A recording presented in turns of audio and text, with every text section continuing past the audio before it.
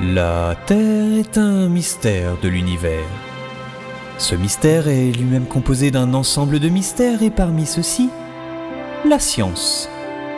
Un mystère qui étudie les mystères. Et pour les étudier, des êtres mystérieux, les scientifiques.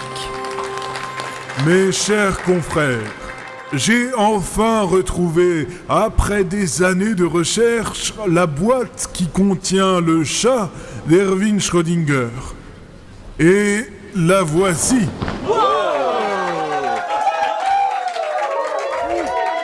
Cependant, je dois vous annoncer une terrible nouvelle.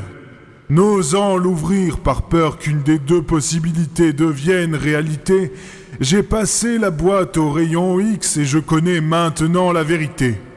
Et laquelle est-elle? Eh bien, je vous ai convoqué aujourd'hui car d'après ce que j'ai observé, le chat de Schrödinger est toujours bien soit vivant, soit mort.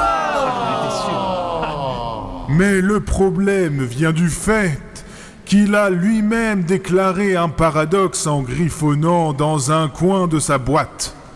Nous avons fait beaucoup de progrès ces dernières années en langage animal et voici ce qu'il dit. Miaou Mon maître ne m'a pas donné de croquettes et il pense que je vais boire une bouteille de poison. Chat ne marche pas.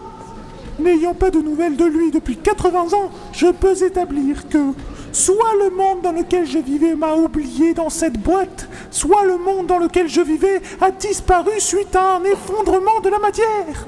Il n'y a qu'en ouvrant la boîte qu'une de mes deux théories s'établira comme réalité. Je ne sais que faire.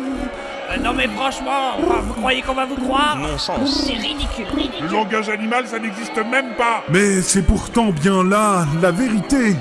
Je vais prouver que vous racontez n'importe quoi. Euh, Non, idiot, ne touchez pas à la boîte Et la Terre éclata.